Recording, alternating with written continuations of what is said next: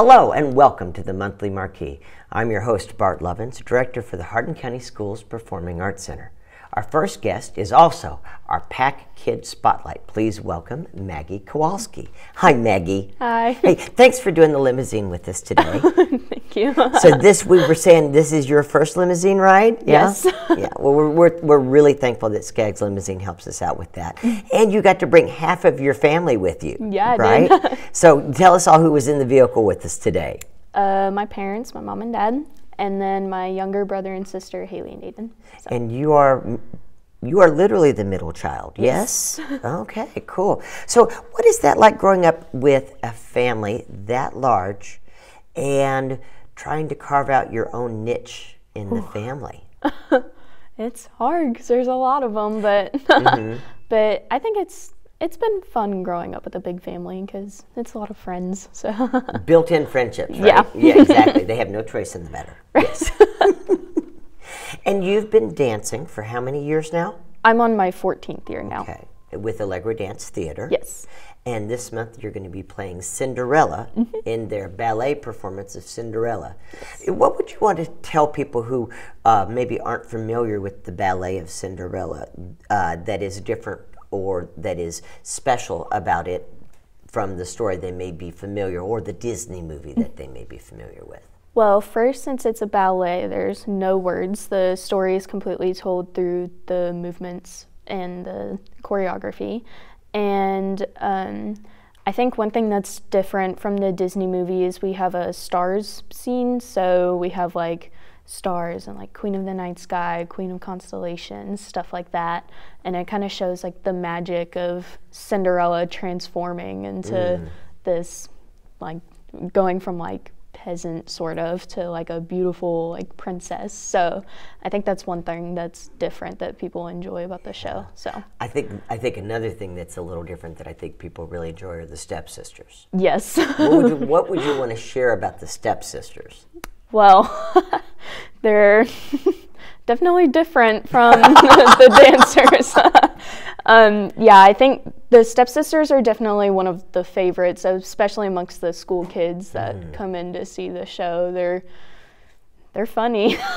And how long have you been dancing in the Cinderella ballet? this is my tenth year. Yeah, yeah. And you kind of you, we were talking in the limousine. You you start as a bumblebee Yes. and you work your way up the, the ladder, as it were, and hopefully at some point in time you get to play Cinderella. And you're sharing that role with how many other dancers this year? Uh, just one this year. Oh, this is a slow year. Yes. Because sometimes it's as many as five, five. Mm-hmm. girls playing Cinderella.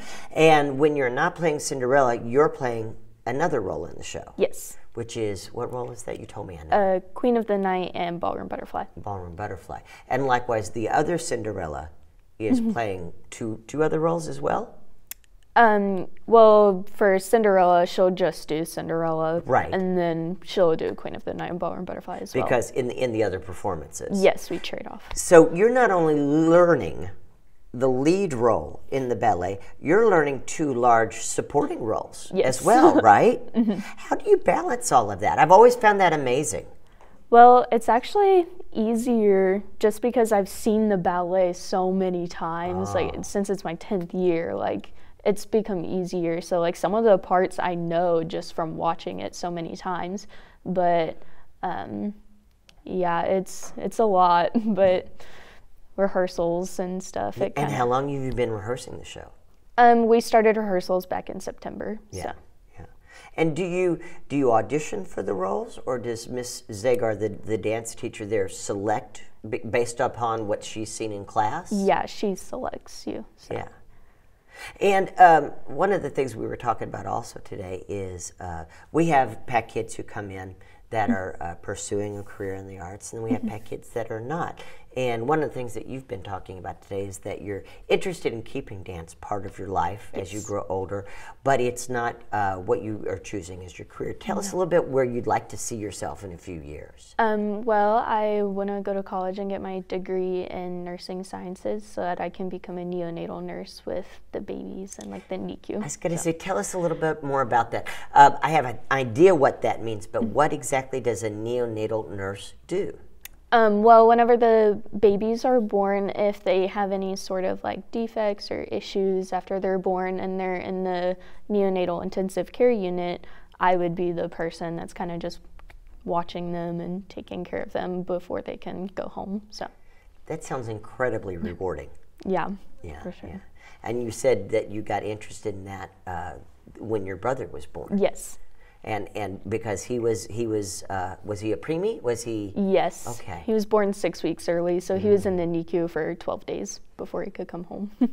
Isn't it? I think it's always fascinating how one event can change the course in your life. And that I don't know who was the. Do you remember who the nurses were at those time? But they must have made a huge impression. oh, upon you. yeah. Yeah. and what do you think? How does that relate to dance? Or maybe a better question is, what do you think you've learned through dance that can help you in the pursuit of that? Well, I've learned the um, professionalism of just working with lots of different types of people, and also just dance and nursing work hand in hand, just because they're both about like the body and like how you use your body and stuff. So they kind of work hand in hand, and yeah, so well, and, and, and one of the things we talked about this morning too on the radio uh, was that uh, as a dancer, you are accustomed to communicating and being communicated with uh, through physical uh, movement as opposed to voice. And here you have these babies Yeah. who can't tell you anything, so you've got to interpret. What's going on from the physical signs that you're seeing? I just find it all really fascinating. I, I, there's so many wonderful connections. pieces together. Yeah, Yeah, cool. yeah. And I know that uh, Miss Carroll also does physical therapy. Yes. And so that's kind of another kind of vein of that kind of Mm-hmm. thing that I, I would think would also, uh, it's very intuitive to Yeah. dance, I think. And uh, do you have any idea where you're headed to college yet? Um, right now, I'm headed towards UK. I think. So. Okay. Well, we wish you the best in all your pursuits. Thank you. Thank you so much for being with us today. Thank you for having me.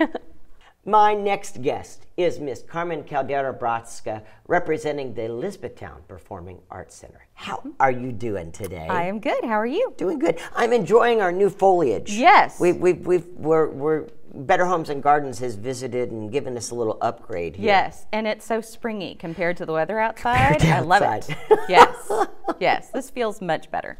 Well, there are things not only springing up here, but mm-hmm. also at the Elizabethtown Performing Arts Center. How's that for a transition? That How do you is like beautiful. Your mother would be so proud She of me. She would. yes, she would. Yes, and she is actually kind of at the core of what we're doing right now. Tell me more. Um, we are doing a play that she wrote. That's right. Right, about 15 or more years ago called Where the Green Things Play. And they did a uh, reader's theater of it, which we were just talking about, at the Backstage Cafe when she first wrote it. Um, and I believe that was in 2005 because I was pregnant. So it's easy for me to remember that year.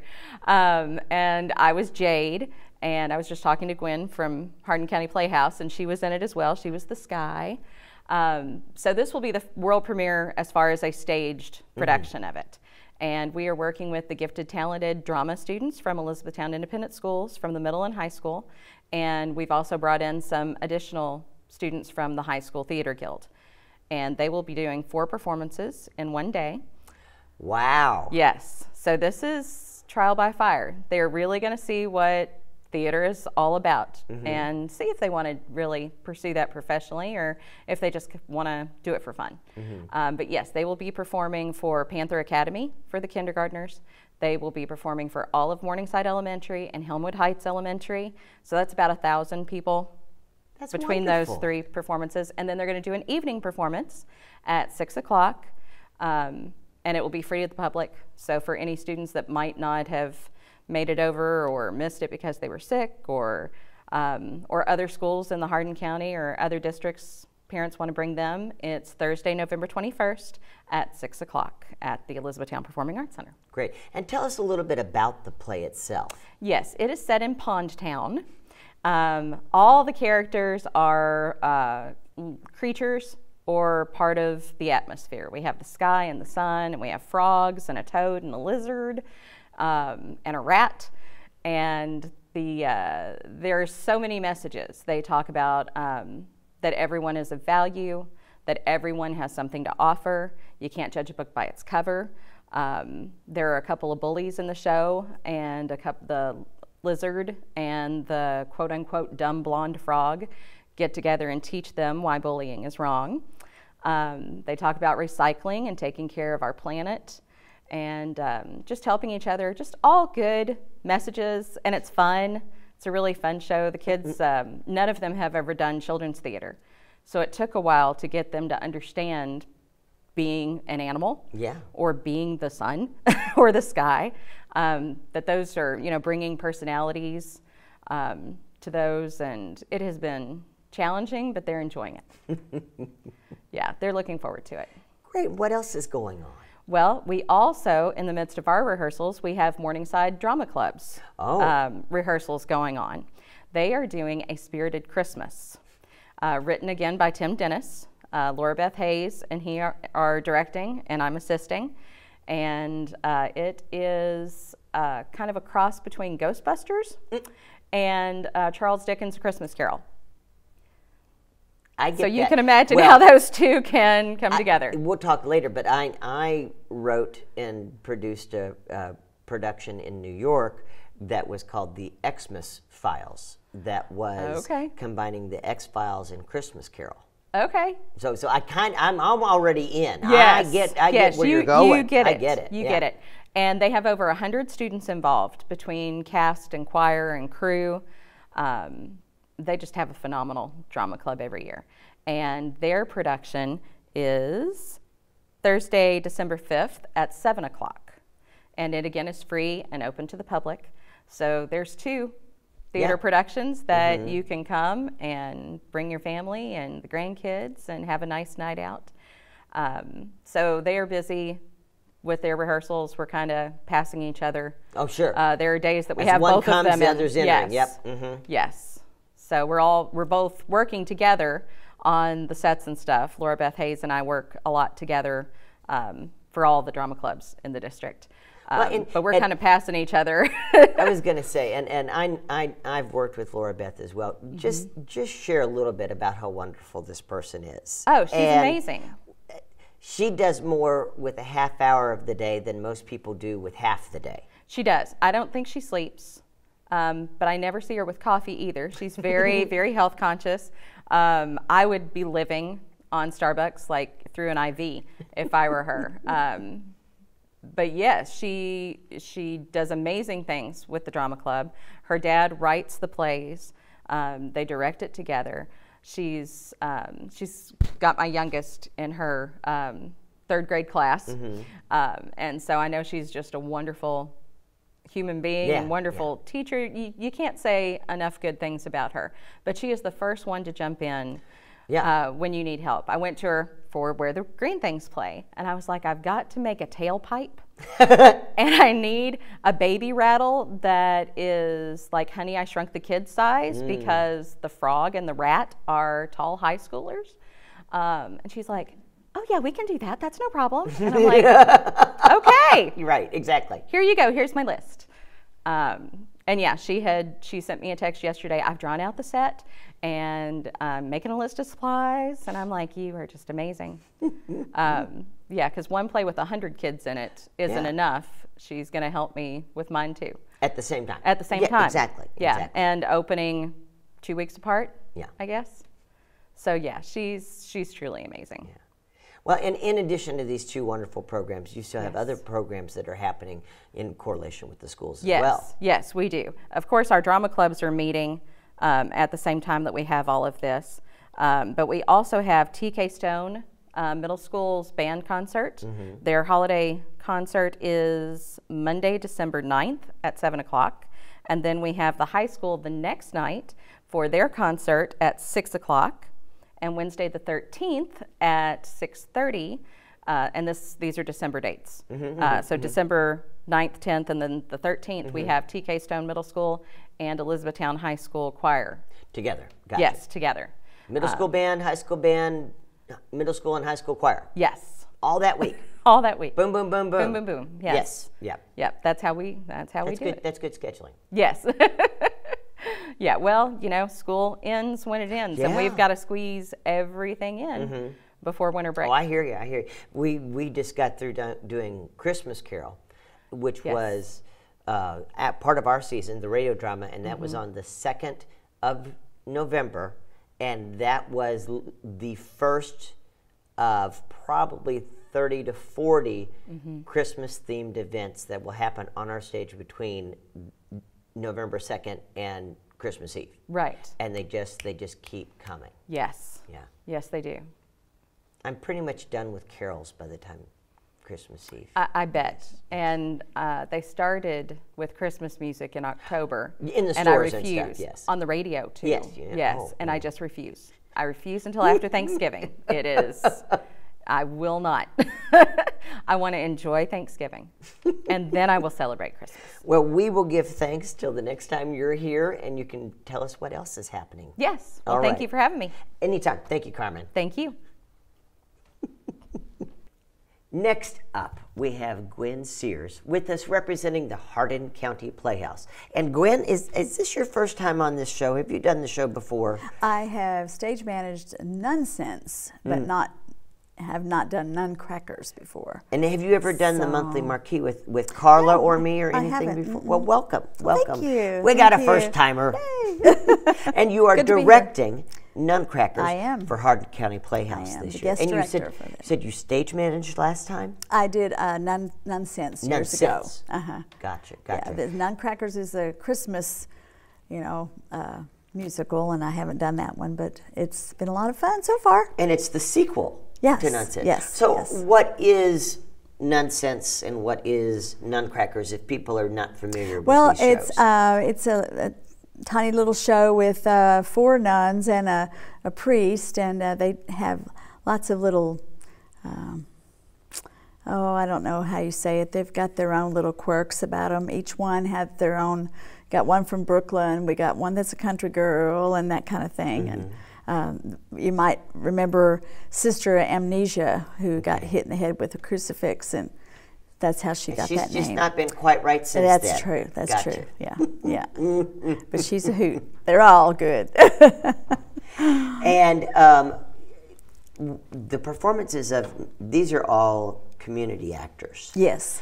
And um, what is that like from you for you from your perspective? Because I, I know it, let's let's back up just a second. Okay. This is not your first time directing, though.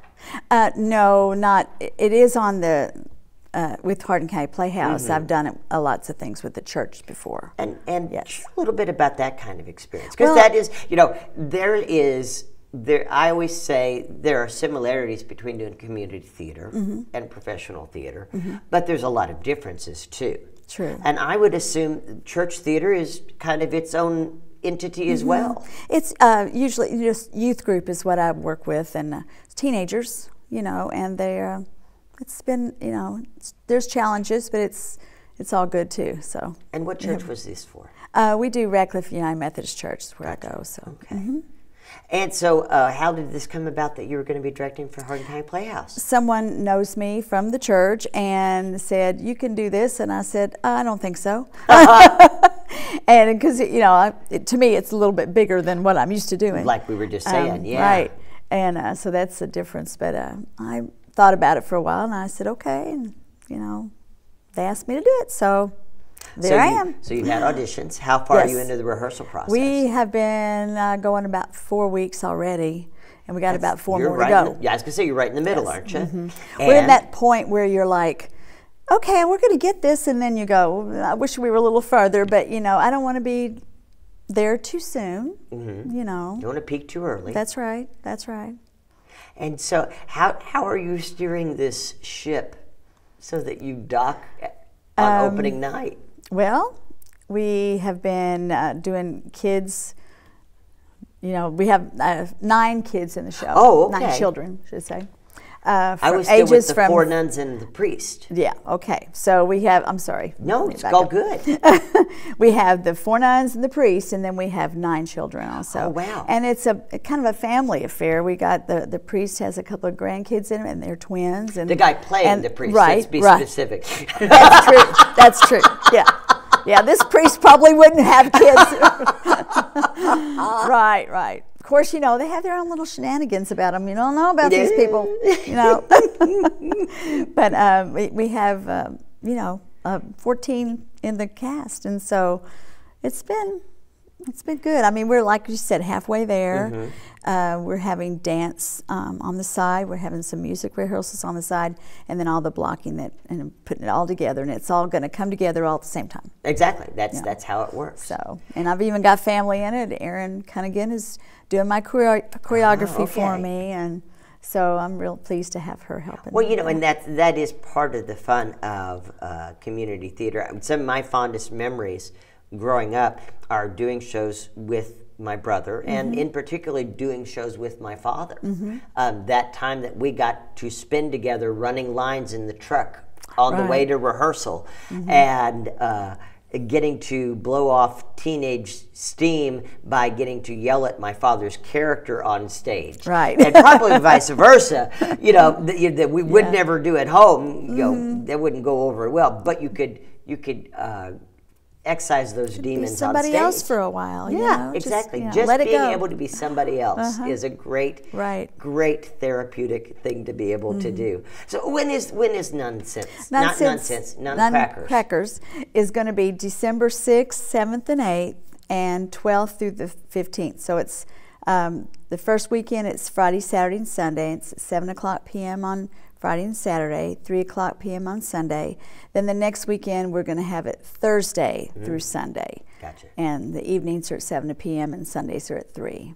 And how can people find out about tickets? And uh, well, they need to go online, www.hardincountyplayhouse.com, or they can call 270-351-0577 and get tickets that way.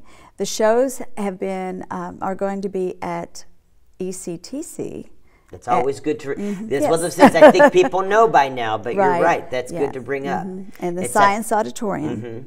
and on- uh, on I love that space. I do too. I just it's love it. small, but I but I love it. I, I you know it's just it's perfect. You yeah. know the acoustics are good in there, stuff. So it's really going to be fun. So and the cast has been great.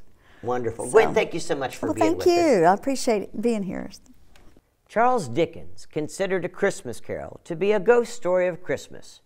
That seems all the more appropriate with the PAC's recent radio drama production of Dickens' Christmas Carol falling so close on the heels of Halloween. It also brings to mind an early Christmas morning when I was young and had my own visit from a Christmas spirit. I was at that age when I still wanted to believe in Santa Claus, but doubt had set in. How was it all possible, even with eight tiny reindeer? My suspension of disbelief was stretched as thin as the tinsel that my mother insisted we hung poorly on the Christmas tree in the living room. Winter had hit Hardin County hard that year, and walking through our yard in Rineyville was like wading through a seven layer salad as each step crunched down through layer after layer of snow upon ice upon snow. That Christmas Eve brought yet another deluge of ice. The front yard and bowed trees glistened outside the tall living room windows of our farmhouse as the sun began to rise on Christmas Day. My parents were still fast asleep, but my younger brother and I had already tiptoed downstairs to see what was in our stockings before they awoke. Although this brazen act was permitted by my parents, eh, so they could get a few more minutes of rest, I'm sure, my brother and I were forbidden to look under the tree, which stood tantalizingly only a few feet from where our stockings hung. It was still very dark, but the rising sun bouncing off the snow and the ice outside illuminated the room just enough to silhouette the tree and the treasures surrounding it. What could a single side glancing peek hurt, huh? Right. That's when I saw her, him, it. Right next to the tree, I spied the silhouette of an angel. I quickly looked away, grabbed my brother by the arm, and ran with him to my parents' bedroom. Any thought of biding our time with stockings stuffed with the healthy, hippie 70s treats like molasses candy and carob covered raisins had vanished from my head. Mom, Dad, wake up! The Christmas angel is in the living room! All right. Now, mind you, I had never heard tell of such a being ever before. This creature had sprung to life, fully formed in my subconscious, with a backstory forming right behind it. This was the answer. I thought to myself in a flurry. A fat man in a sleigh? No way. But an angel. Ha ha! The Christmas angel. That, that all made sense. I dragged my groggy parents back to the living room, and sure enough, there it remained, backlit in the window. I could see clearly now the silhouette of a bowed head, bowing as if turned away from us in prayer, with a small wing on each side and a dress flowing down to the ground. Dad flicked on the light switch. Bozo! My brother cried out as he ran to smack the inflated punching bag that stood in the very spot once held by my mythological vision. The one and only ever appearance of the Christmas angel. How about you? Do you have your own ghost story of Christmas that you'd like to have shared? If so, tell me about it at lovins at thepack.net. And maybe, just maybe, we'll get the chance to bring it to life at the pack. In the meantime, I hope you become part of the PAC's family and visit us at the Nutcracker. And we hope that you had the opportunity to come join us at Dickens Christmas Carol earlier this month. Nutcracker will be the final weekend before Christmas, and you can learn more about it at thepack.net. In closing, I'd just like to take this opportunity to thank all of the family and friends, volunteer, and Hardin County School staff that make everything that we do at the Hardin County Schools Performing Arts Center possible. At this time of the year, we give thanks to all of you for making what we do possible to give to others. And now we'll scroll through the events of all activities we have happening in the Hardin County area. Have a very happy Thanksgiving.